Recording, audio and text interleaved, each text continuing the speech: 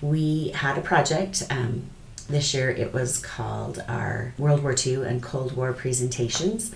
Um, students were given a list of possible topics based on the content again. For this one, our content areas were World War II on the home front, the Cold War and its effects on society, and the United States and World War II. Students were given a list of basically the vocabulary words Potsdam Conference, containment, the Berlin airlift, things like that, Rosie the Riveter. And they were able to choose an area that they wanted to dive a little deeper in and prepare a presentation for.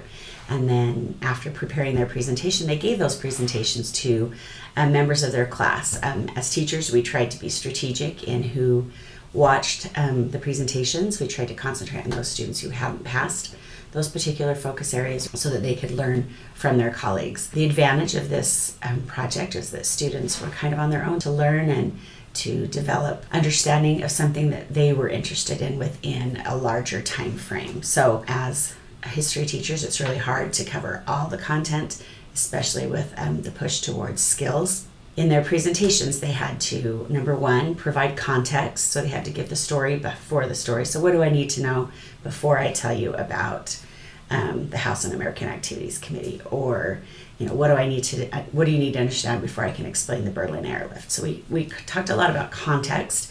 Um, one of our skills that we concentrate on in both argumentative claim and introduction and conclusion is giving background and giving context. They had to explain the event or the person or the concept. What is it? What did it do? How did it work? And then how did it connect to today? And that was probably the most interesting. And of course, as history teachers, the most applicable part is, you know, why do I need to know what the Berlin airlift is beyond what it was? So again, they prepared their presentations. We had a very you know, we had a kind of a idea of what they needed to do and gave that to them. And then we gave a presentation to show them kind of what that presentation should look like. And our presentation um, was for the next unit coming up. So it wasn't anything that anybody was going to cover. And we gave them kind of our example and then we let them score it based on the rubric and okay what would you have given me what could i have done differently and as as a team we created the powerpoint it wasn't a perfect one and we all delivered it a little differently um, enabling the students to kind of you know like what what could i have done better? What did i skip over? What was good about the powerpoint was you know what could be improved on the powerpoint? Now with all of our checkpoints the, everything's online that they submit. So the first they submitted um, here's the topic that i want and here's what i understand about the topic.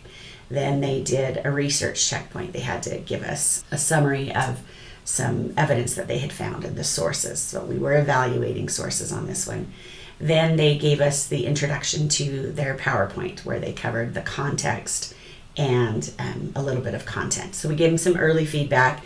Your content's good, you know, your PowerPoint's looking good. So students, you know, give get feedback all along, and they are sometimes working on that in class. Again, sometimes we're working on content in class, so they don't have all day or all period in class to do you know specific things. So they do have to use that online space but everything that we do comes in online um, through what we call checkpoints. And so i can check their work give them feedback and if they need to work on something um, we send it back to them with some comments and then they can fix it and send it back to me and then i can send it back to them. Most students only need um, you know feedback once and some students you'll get it back and forth for them two or three times um, until they understand it and are ready to move on to the next step